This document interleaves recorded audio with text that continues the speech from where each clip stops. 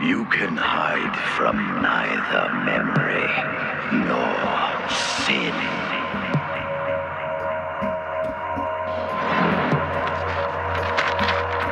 What